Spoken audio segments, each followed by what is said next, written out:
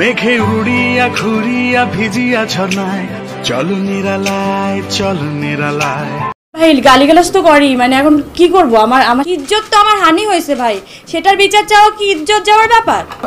ঢাকায় ছবির অন্যতম আলোচিত নায়িকা হচ্ছেন পরিমণি। যে কোনো ঘটনাতে আলোচনার জন্ম দিয়ে সমালোচনার তুঙ্গে থেকেছিলেন তিনি।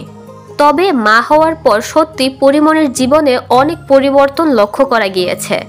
উশৃঙ্খলা থেকে বেরিয়ে একজন সফল মা এবং একটি সংসারী মেয়ে হওয়ার চেষ্টা করছিলেন তিনি। যদিও তার সদ্য শুরু করা এই সংসারে ভাঙনের সুর তীব্র আকারে শোনা যাচ্ছে এখন। এবং এই সন্দেহ অন্য কারও বিরুদ্ধেই না, তার স্বামী শরীফুল রাজের একের পর এক হিট হওয়া ছবির নায়িকা মিমের বিরুদ্ধে।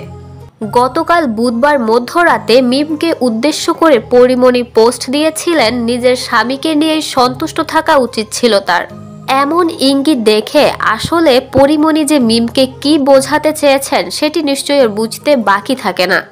সেই সাথে পরিমণি রায়হান রাফিকে উদ্দেশ্য করে লিখেছেন, সিনেমার সাথে সাথে দালালিটাও ভালো করেন দেখি। হয়তোবা মিম এবং শরীফুল রাজের মধ্যে এমন কিছু আছে যেটার পুরোপুরি ইন্ধন জুগিয়েছে রায়হান রাফি, এমনটাই প্রকাশ করতে চেয়েছেন তিনি। এ থেকেই আন্দাজ করা যায় পরিমণি শরীফুল রাজকে নিয়ে সুখী আছে বোঝানোর চেষ্টা করলেও ভেতরে ভেতরে সম্পর্ক ভালো নেই তাদের। যদিও পরিমণির কথা শুনে বোঝা যাচ্ছে এ সম্পর্ক টিকিয়ে রাখার সর্বোচ্চ চেষ্টা করছেন তিনি, কারণ তিনি শরীফুল রাজকে মেনশন করে লিখেছেন এই ঘটনা এতদূর বাড়তে দেওয়া উচিত হয়নি তোমার। পরিমণির সংসারের এ ভাঙনের সুরে আসলেই কি বিদ্যা সিনহা মিমের হাত রয়েছে? কি মনে হচ্ছে আপনাদের?